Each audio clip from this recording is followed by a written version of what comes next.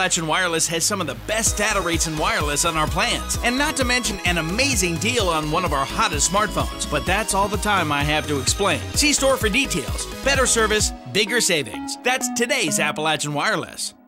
At Hilton, the temporary crossing over Elkhorn Creek that was washed out Sunday has been reinstalled. Crews with the Pike County Road Department repaired the crossing Tuesday and on Wednesday began removing damaged portions of the permanent steel and concrete bridge that was damaged in a washout in January. That January washout made the temporary crossing necessary. Pike County Road Commissioner Jackie Darrell Smith said the county is still waiting for funding from the state to permanently repair the bridge, but he anticipates the replacement will begin very soon.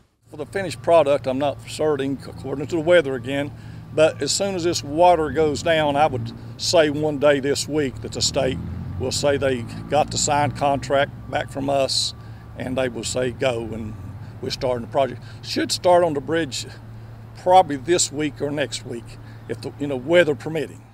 As it did in January, Sunday's washout isolated residents living along the former Old Hilton Church Road, leaving them with no way across Elkhorn Creek to the adjacent Kentucky 197 Elkhorn Creek Road. The residents wondered when Pike County would permanently fix the problems with crossing Elkhorn Creek. It feels like we've been left alone, like we're forgotten country, because we're not on the right side of the mountain.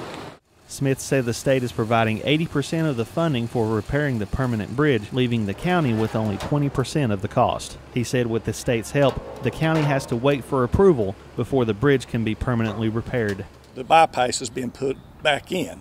You know, we got to deal with Mother Nature. We don't control nature. We got to deal with it, and and you have to deal with the, the rules of state government and getting the money.